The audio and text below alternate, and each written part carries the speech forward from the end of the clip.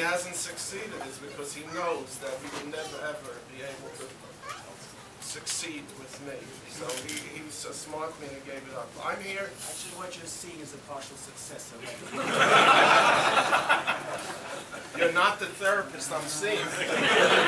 Don't take credit for something you haven't done. That's why it's only partial. Okay, touche. First of all, I'm not wearing two hats. I, I, until January 31st, I'm the city council member of the 44th district. And uh, as long as I'm here, I, I will, I'm proud to be able to retain that title. And hopefully, even after I'm gone, I'm going to call different people and say, hi, it's Councilman Felder. They won't remember the difference and be able to get help when I need it. But, but it is an honor and will continue to be honored to serve here. One of the, one of my earlier memories was working with Chief Gala, in fact, on fire prevention. It was one of, one of the proudest moments in my career because usually people call Hatzola, they call the fire department, and everyone else here when there's a crisis. Uh, You usually don't get calls to say uh, thank you, which is why it's so wonderful to be here today. But that's how it works. But that particular project was about fire safety, which we did with the, with the largest parochial school, I believe, in the country, uh, the Beth Jacob of Brooklyn. And we did that with the children. We spent time with Chief Gala and children from Beis Yaakov to try to spend time educating children and their families, obviously, for fire safety. So it's a particular pleasure to be here. I would just add that in general, there's a concept uh, called chesed shel emes, which means kindness of truth, which usually is talked about when it comes to the respect that's given to the dead, because that you will never ever receive anything in return. Whatever you do for that person, you never ever receive anything in return.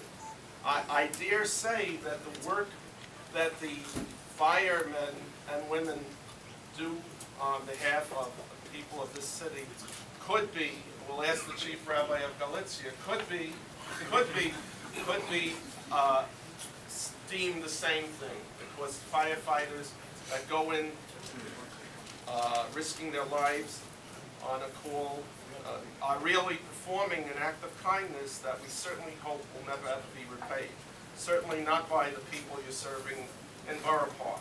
I would just say that a lot of the children want to be Hatzola guys, they're, they want to be shomrim, maybe policemen. There's something about Orthodox Jewish children and firemen that just don't go along. They- you know, they love you and respect you, but that's not where they want to be. They don't want to be in the fires. They may want to be chasing the cars down the street or something else like that. It's just, that's the, that's the story. And it's a good thing that the city of New York does not have any sort of requirements, which I, I am entirely opposed to, but I don't want to make this a political thing, but I always like to say something controversial. I am entirely opposed to any sort of requirements in hiring for any particular group of any sort. The most capable people should be hired for jobs, and that's all that should matter. Period. That's, that's all that should matter.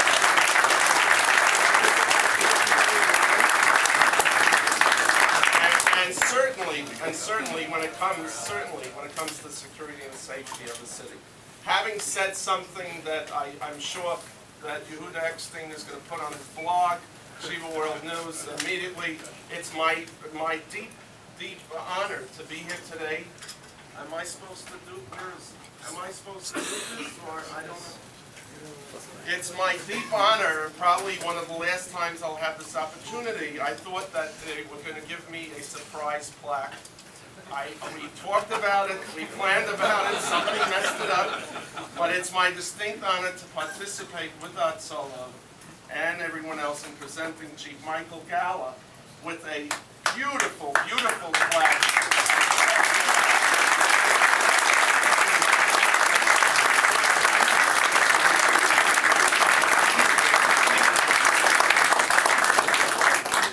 As you can see from his reaction, he wasn't surprised at all either.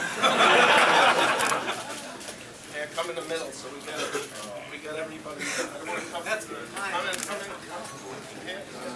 Okay, let me get in. Let me get in. See my rabbi is. That's a fell to me, what? Jack, I paid the same. I paid some Yankee, Yankee, Yankee got it. Make some soup.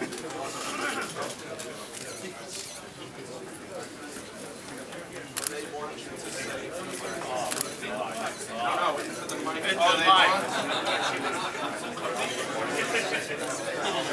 They want, you want, they, they want me to read the plaque. So Borough Park Salutes Chief Michael Gala. Are you still here? I'm here. I'm here.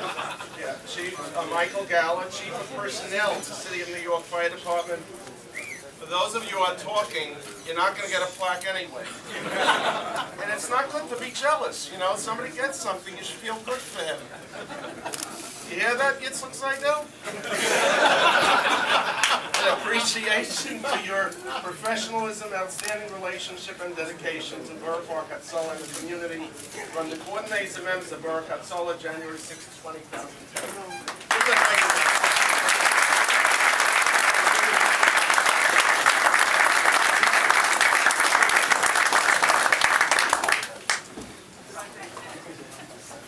I don't know where to begin. Chief Bill Duffy shaking his head, he goes, I heard this speech three times, please. You got the mic, you got two minutes. Uh, It came as a surprise, I believe, as to Chief Bill Duff getting this plaque. My friends at Hatzola, thank you, thank you, thank you for all you do. Uh, Briefly, I'm not gonna go over my firefighting career, where I was a fireman and a lieutenant and captain in Borough Park. No, go But- through it. Go but- I was born in Borough Park, I grew up in Borough Park, I worked in Borough Park. It's- I was only nurse for a kidding, day in Chief. Borough Park. I was only kidding. Again, and it, and it was an honor. Uh, When I got promoted to battalion chief, I figured I'd see a different part of the world. And uh, I got a phone call, I was going to the eighth division. And the day of the promotion, they said, give the eighth division a call, they have your assignment for you. And I called up the eighth division and they said, you're going UFO into Borough Park in a 4-0 battalion. What a way to end a career. About a month and a half ago, a chief of department, now our fire commissioner, called me, said, you have to come down, we have to talk. And uh, a week later, I was the new chief of personnel. Uh, I don't know how long that will last, Uh, 17 more years to go before I reach mandatory retirement age. So I may end up uh, back at Borough Park again. With that being said, I tha- I thank you. I thank you for the honor. Uh, Bernie, uh, we're just gonna go over some introductions, introduce you to some of the members that were here. Bernie called me up a couple of weeks ago and said, we hon- we wanted to honor the members that rescued the child on 47th Street. We wanna have a lunch for them. Can you get a couple of guys down here? It looks like we have 50, 60 members here today, and I applaud you for that.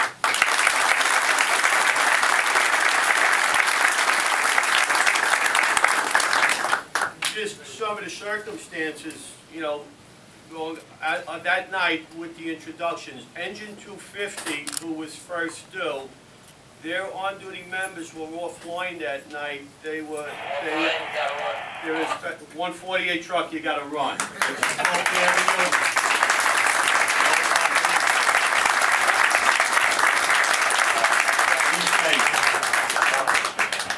Two fifty, in addition to their firefighting capabilities, they're also one of five or one of six special hazmat units. That particular night, their on-duty members were at a training session, so they were offline. They needed to fill that company in with other hazmat-trained members. So the members that were working that night were from Engine 44 in Midtown Manhattan and Engine 165 out in Staten Island. And I'd just like to recognize the men that were working that night in Engine 250.